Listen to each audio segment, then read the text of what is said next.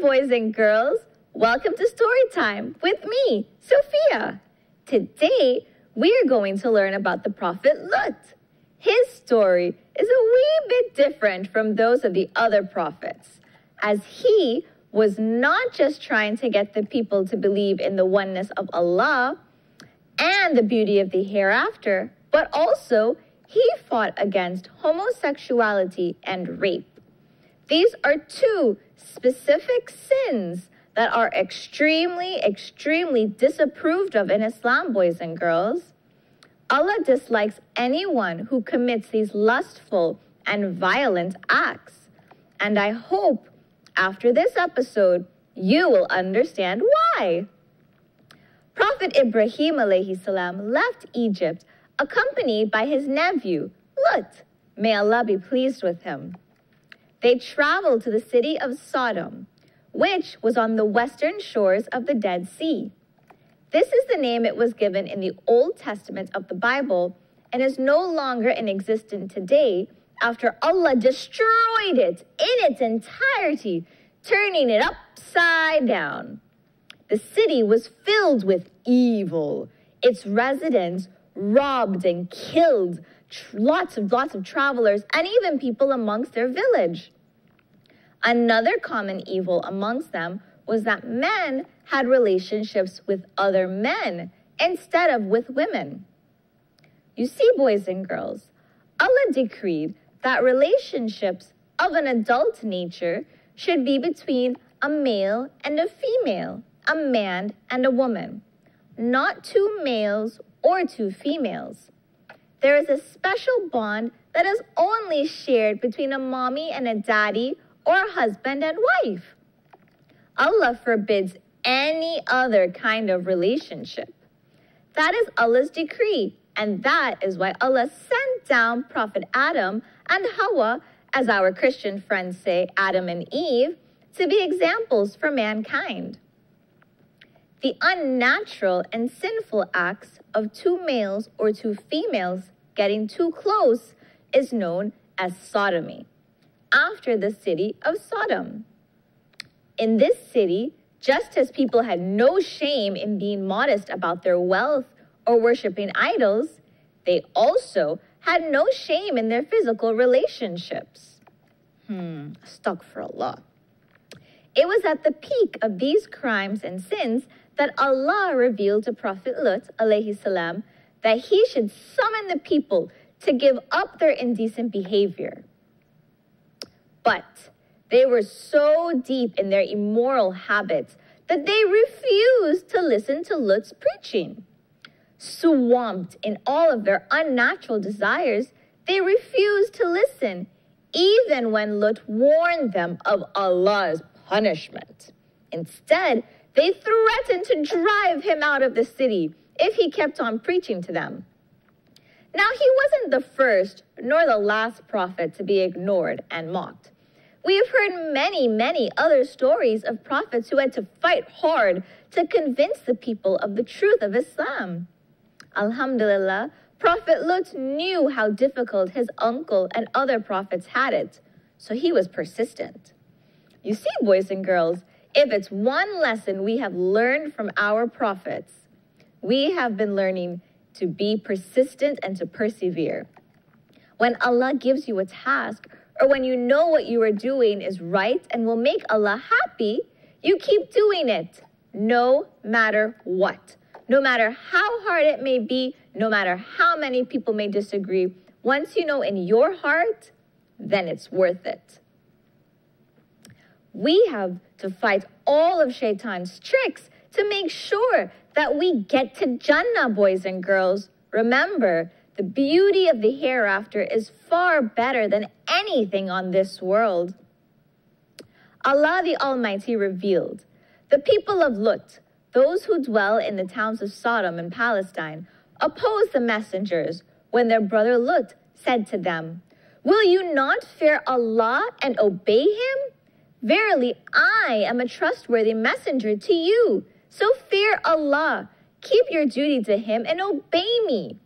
No reward do I ask for you for listening to my message of Islam.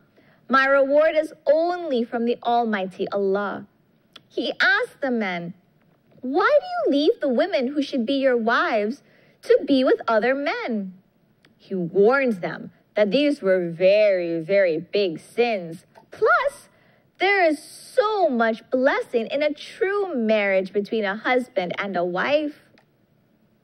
Getting married, boys and girls, is completing half of your deen. That means that when a righteous man marries a righteous lady, they are halfway to Jannah. Why would you want to lose out on those blessings? I know I don't.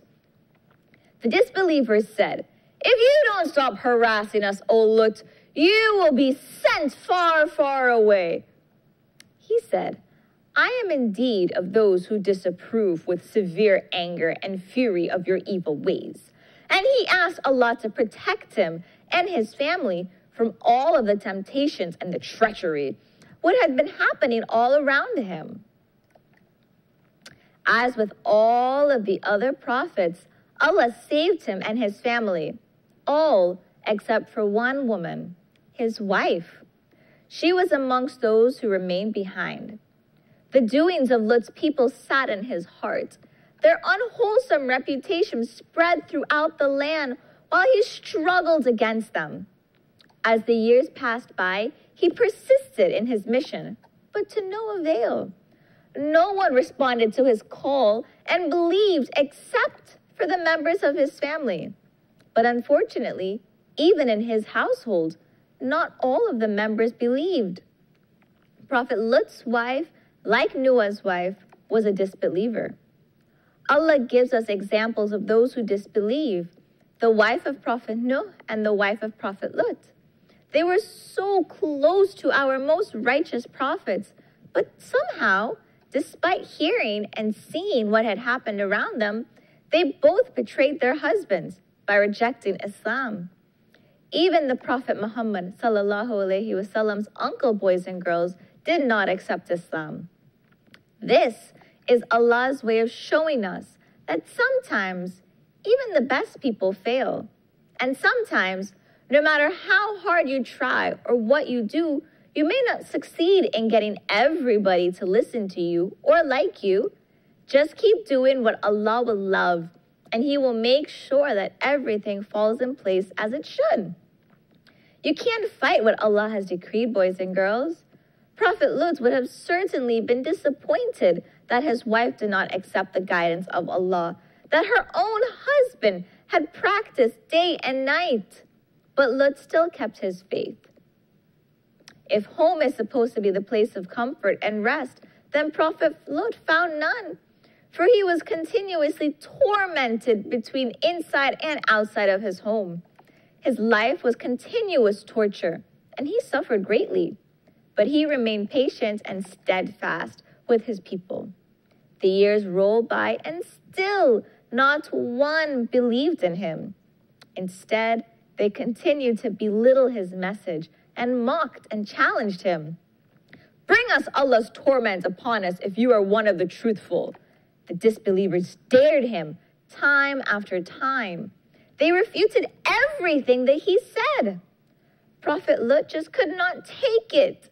He wanted to prove to them that Allah was the greatest and that they would get punished, but he did not want to harm them. He did not want Allah to reprimand them the way he did to the other cities in the past. He just wanted to save them from the pain and the suffering of the hellfire. Why couldn't they just understand he was trying to help them? But they were too stubborn. Overwhelmed with despair, Prophet Lut alayhi salam prayed to Allah to grant him victory and destroy the corruption. The angels left Prophet Ibrahim alayhi salam and headed down to Sodom, the town of Prophet Lut. The angels reached the walls of the town in the middle of the afternoon. The first person who caught sight of them was Lut's daughter, who was sitting beside the river filling her jug with water. When she lifted up her face and saw them, she was stunned. She had never seen men that were so magnificent on earth, such wonderful build and beautiful skin. One of the angels asked her, O maiden, is there a place for us to rest? Remembering the character of her people, she replied, Stay here and do not enter until I inform my father and return. Leaving her jug by the river, she ran home to fetch Prophet Lut. Oh, father, she cried, you are wanted by young men at the town gate, and I have never before seen their faces. Lut felt distressed as he quickly ran to his guests. He asked them where they came from and where they were going. They did not answer his questions. Instead, they asked if he could host them. He started talking with them and emphasized the sinful actions and nature of his people. He feared for the safety of his guests, not knowing that they were angels, because he knew how dangerous life was in the city and how much danger his family was constantly in for trying to spread Islam. He knew that the disbelievers would not be pleased to see more people coming to try and change them. They had threatened to kill him before, and he did not want to endanger his guests. Lut was filled with turmoil. He wanted to convince his guests, without offending them, not to spend the night. But it was all for their well being. Yet, at the same time, he wanted to extend to them the best hospitality as they were, in fact, his guests. In vain, he tried to make them understand the perilous situation and how their safety was in jeopardy. At last, they all agreed that the best idea was for them to wait until nightfall so that no one would see them walking through the town and entering the home of Lut. What do you think happened next when the angels entered the city, boys and girls? Well, we know that nothing bad could happen to them because, well, they're angels. So, what do you think they did to the people of the sinful city? Another flood? A drought? oh, no. I promise you, what happened to them is way worse. Just you wait and see. We're going to take a short commercial break, and when we return, we'll find out what happens to the disbelievers in the city of Sodom the city of Prophet Lut. Dun, dun, dun.